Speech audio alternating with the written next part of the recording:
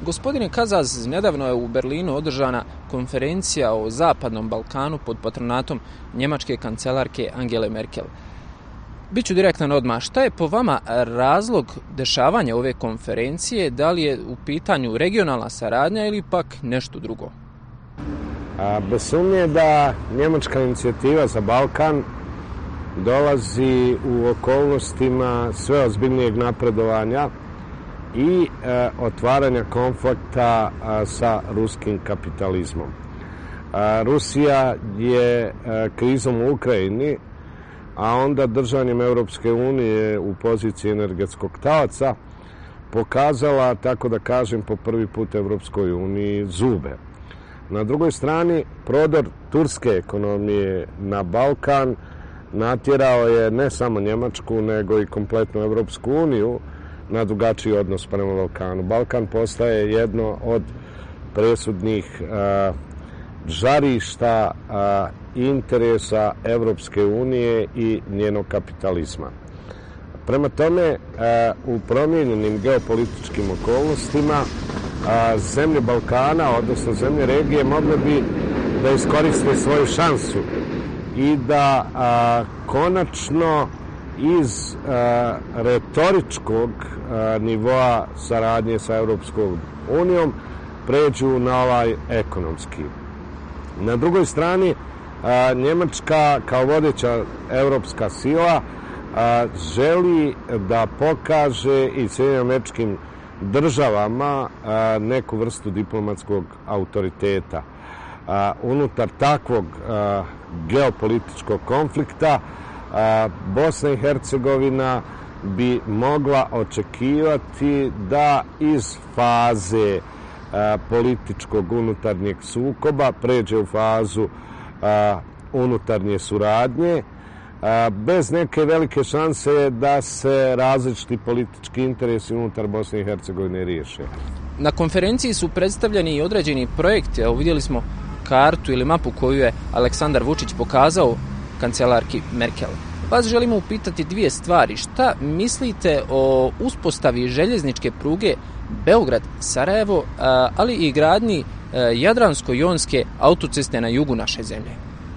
Ako jedan i drugi projekat imaju ekonomski interes, a bez sumnje da ga imaju, a, takozvana Jadransko-Jonska magistrala a, je projekat koji nije prvi put pomenut u Berlinu i on već odavno traje. On je zapravo projekat koji bi natjerao na neki način Hrvatsku da promijeni svoj odnos prema Bosni i Hercegovini i da Bosnu i Hercegovinu više ne tretira kao zemlju a, kako je tretirala u zadnje vrijeme koju treba a, sensibilizirati za a, položaj Hrvata u njoj.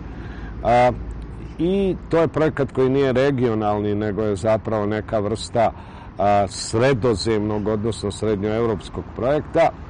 A, pruga o kojoj je govorio Vučić i koju su prihvatili a, ideju gradnje te pruge, prihvatili su i domaći političari, jasno je da je najbrži a, put a, i najjednostavniji i najjeftiniji put koji povezuje a, Beograd i Sarajevo. A, oba projekat, projekta su a, dobro došla, ali opet insistiram na, na tome, to su infrastrukturni projekti.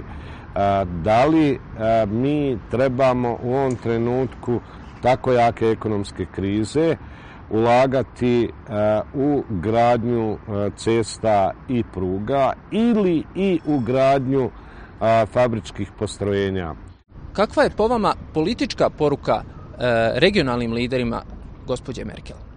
Može se reći da je ta poruka stabilizirajuća za regije. E, ono što je vrlo jasno, Evropska unija je žudnja, tako da kažem, a, liberalnog dijela stanovništva u regiji. A, rusofilija ili turkofilija izražene na ovaj ili na onaj način kod, kod domaćih političkih elita su naprosto anahrone i e, pogotovo kad se ima u vidu rusofilija sa ofanzivnim e, međunarodnim političkim potezima Putinovim, onda su e, takve identifikacije, identifikacije konflikta.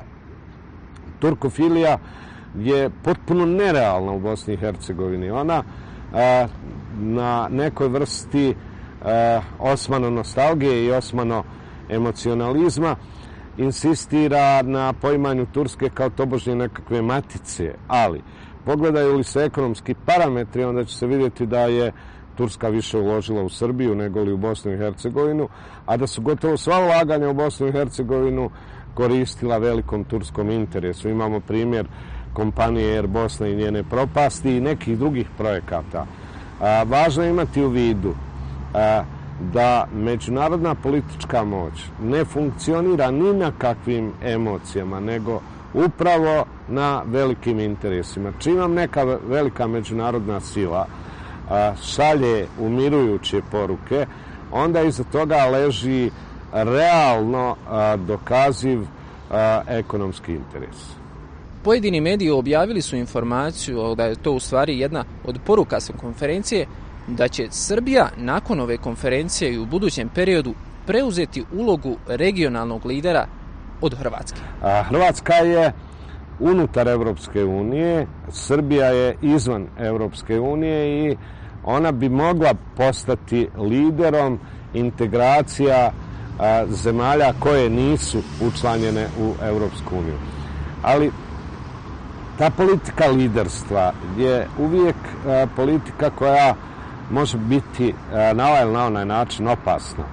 A, umjesto a, ideje Srbije kao a, lidera zemlje a, u regiji, valjalo bi razmišljati o regiji a, bliske suradnje i zajedničkih, zajedničkih interesa. Nije dobro ako se unutar tako nestabilne regije pojavljuje zemlja lider, jer je uvijek pitanje kad će ona a, svoje interese nadrediti drugima. A, tako je i iskustvo međunarodne svjetske politike i a, ne bih a, bio siguran da bi a, liderstvo Srbije na regiji donijelo stabilnost a, svim zemljama u regiji. Evo, za sami kraj, e, Merkelova je izjavila da su Beograd i Priština postigli veliki napredak na, na putu ka evropskim integracijama, dok za našu zemlju evo nije imala preterane riječi hvale. Ipak, konferencija je održana mjesec i po dana pred e, državne izbore u našoj zemlji. Ima li po vama e, tu bilo kakve simbolike? Ne vjerujem u mogućnost takve, takve simbolike. Moramo se sjetiti da je Angela Merkel i njen kabinet pokušao veliku diplomatsku akciju u traženju rješenja za takozvanu presudu Sejdić-Finci, odnosno promjenu Ustava Bosne i Hercegovine i da nisu uspjeli. Ali povezivanje e, je nužno ako Srbija i Priština mogu riješiti taj politički konflikt i preći veliku neprijateljsku granicu koju su imale, zašto onda u Bosni i Hercegovini ta granica se postavlja kao neprelazna? Odgovor je vrlo jednostavan. I Beograd i Priština su imali političku viziju i uspjeli su da se dogovore oko svojih interesa.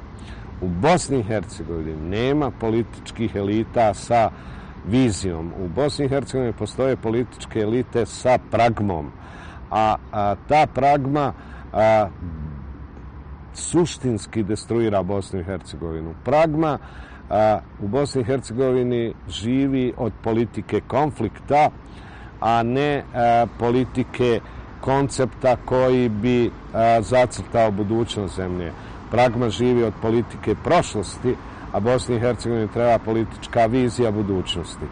E, važno je imati u vidu da Berlin ne bi smjele kao svoj neki kapital koristi u predzbornoj kampanji postojeće političke elite. E, jedina mogućnost da mi e, kao e, država koja je vrlo nestabilna iskoristimo Berlin jest e, sljedeće. A ako više brige za Bosnu i Hercegovinu pokazuje Angela Merkel i Evropska unija od domaćih političkih elita, onda je na građanima. Oni bi morali da izvrše pritisak na te elite svim demokratskim sredstvima, a samim tim i pobunom, jer je zaista krajnje vrijeme da se ti ljudi uozbilje. Hvala vam puno na razgovoru.